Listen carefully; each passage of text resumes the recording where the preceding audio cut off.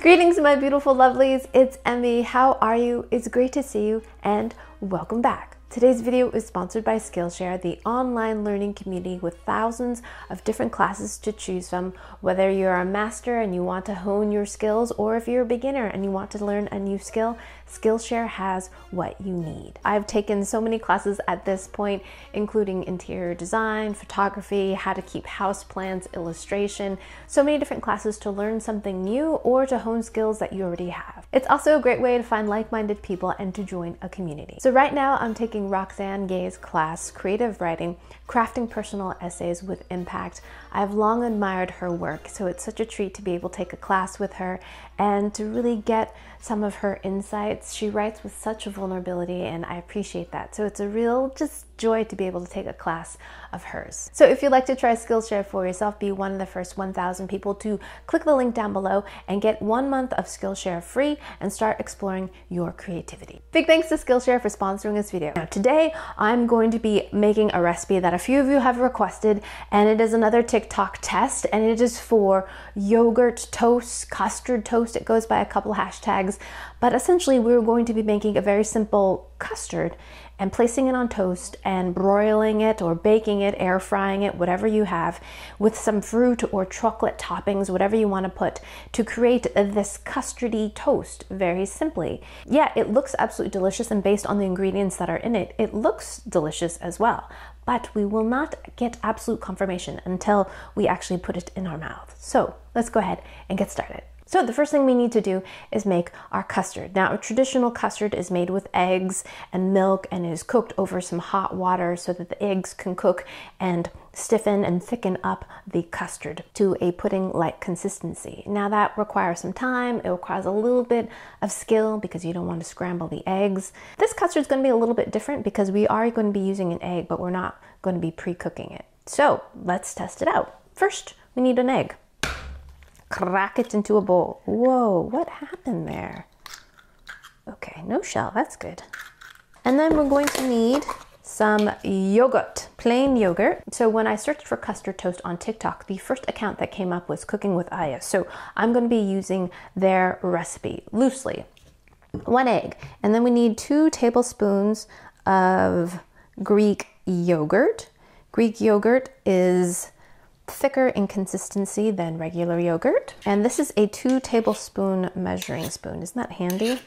This recipe is perfect for adapting. If you don't want to use Greek yogurt, you can substitute sour cream, cream, plant-based cream, whatever you want to do that works for you. But you do need some kind of kind of richness in addition to the egg. And now I'm gonna add about a teaspoon of honey. This is honey from my own hives. You can use maple syrup, you could use sugar, you could use agave, whatever sweetener you like. So we're just gonna mix that around.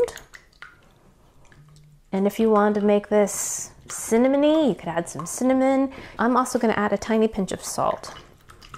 So we're gonna mix this around until everything is incorporated. Now my honey was a little bit crystallized, so I'm going to have to use a little bit more effort to get everything well combined.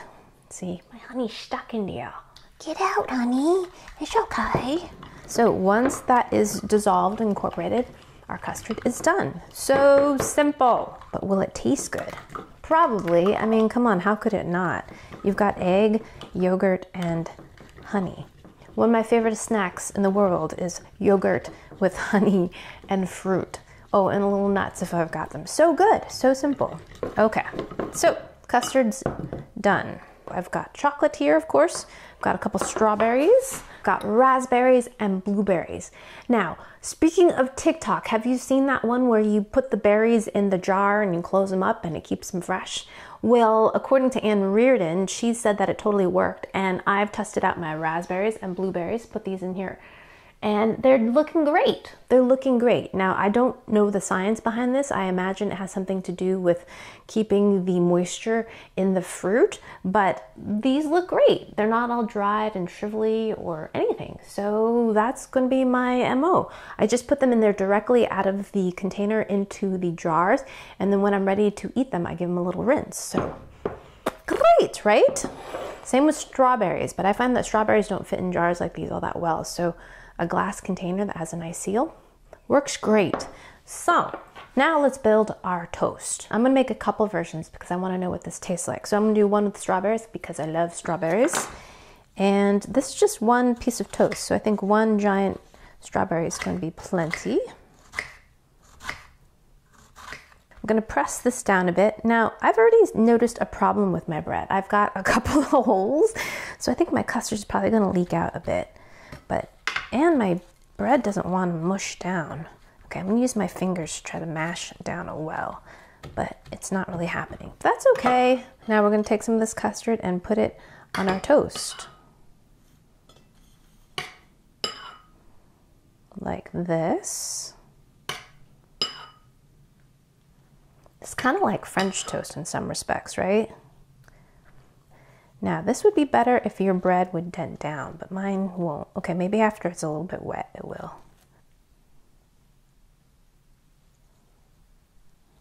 Artfully arrange your fruit onto the toast. And then we're going to pop this into the air fryer.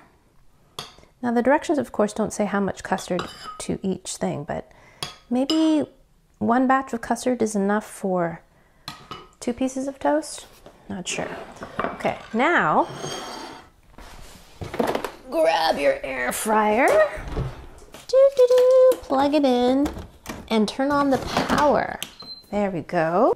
Now, we're gonna air fry this at 400 degrees for about, it said 10 minutes. That seems terribly long time. So I'm going to be cooking mine in the air fryer at 375 for about seven minutes, maybe a little less. I've never cooked this recipe before, but once it looks golden and beautiful, we're going to call it done. If you don't have an air fryer, you can cook yours in the oven at 400 degrees for about 10 to 15 minutes, again, until everything is golden and beautiful. Alrighty, I'll see you in about 10 minutes. Okay, my lovelies, the custard toast is finished, and look! That looks great. Let me grab a spatula so we can scoop it out. Dun dun dun dun dun dun dun dun. Right. Behind me I have the bake version going and I've got 31 seconds left on that one. But look at this. This looks great. Highly recommend using a little bit of parchment as well. Saves you on some cleanup. And yeah, pretty lovely. I'm gonna take a picture of that. Custard toast, custard toast. Mine looks a little bit toasted, overly toasted, but, oh, okay, let me go get the baked version.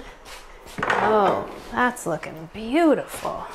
Ooh, yes. Oh, yeah. All right, we have the strawberry version and the chocolate.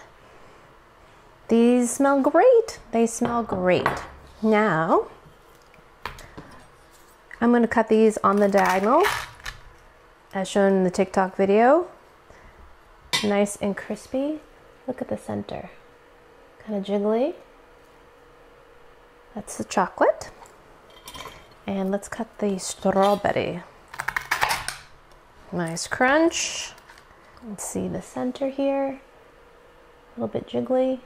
Alright, let's give the strawberry one a taste first. Itadakimasu.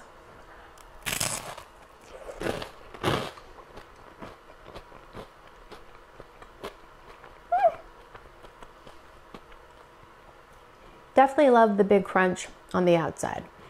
The middle is very soft.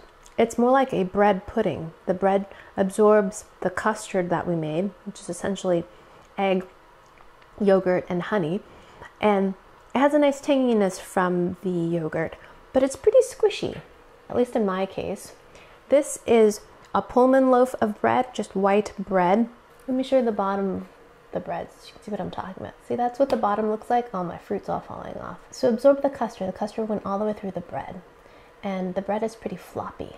Now, based on my results, I imagine the type of bread you use is really going to affect your finished product. I used a white Pullman loaf of bread. If you used a sweetened kind of bread, a Portuguese kind of sweet roll or sourdough, that's going to really change the toast that you get. my bread was pretty porous, so my custard sank through. If you use something that's denser, just like a loaf of grocery store bread, then I imagine the custard would sit more on the top. I would still think it would get pretty soggy. In terms of flavor, I like it. It's got that dairy richness and I like the tang from the yogurt. It's not overly sweet. We only added one teaspoon of honey.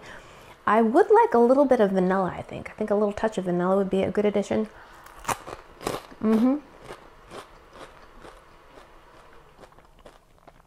I definitely like the crunch of the exterior. Based on these results, and in my opinion, the middle part of this toast is kind of soggy and more like French toast rather than like a custard sitting on top of a piece of toast.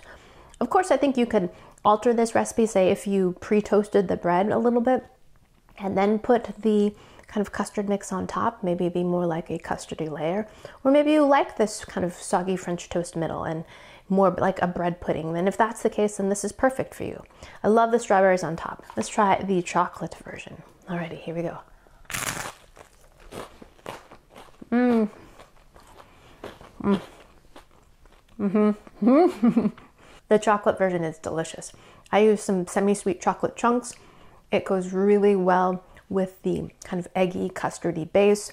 It's not too sweet and the crunch of the toast and the softness of the bread in the middle is a really great combination. Mmm. Mm-hmm. Mmm. What happens if we put two pieces together like this and have it like a sandwich? Here we go. Mmm. Both the chocolate and the strawberries together are really great. The strawberries add a lot of tanginess, some freshness, and then you've got chocolate that just makes it taste delicious because it's chocolate. Definitely recommend the semi-sweet like that a lot. But of course, use any chocolate that you like or any kind of combination of fruit that you like. So in my opinion, this is basically a toasted version of French toast rather than a thick puddingy custard on top of toast. It's still good, having said that, it is super fast and perfect for customization. You can make this to however you like it. You could even make a savory version if you like, just ripe for customization. There you have it, yet another TikTok recipe tested. It's not bad. Is it sublime? No. Is it terrible? No. Is it good? Yeah, it's pretty good. Is it easy? Definitely. So if you're looking for something quick and easy and tasty and customizable, then this might be the recipe for you. Alrighty, my lovelies, thanks so much for watching and big thanks to Skillshare for sponsoring this video. Be one of the first 1,000 to click the link down below to receive a month of Skillshare free so you can start exploring your creativity. Thanks again for watching. I hope you enjoyed that one. I hope you learned something. Please share this video with your friends. Follow me on social media, like this video, subscribe if you're not subscribed already, and I shall see you in the next one. Toodaloo, take care, bye!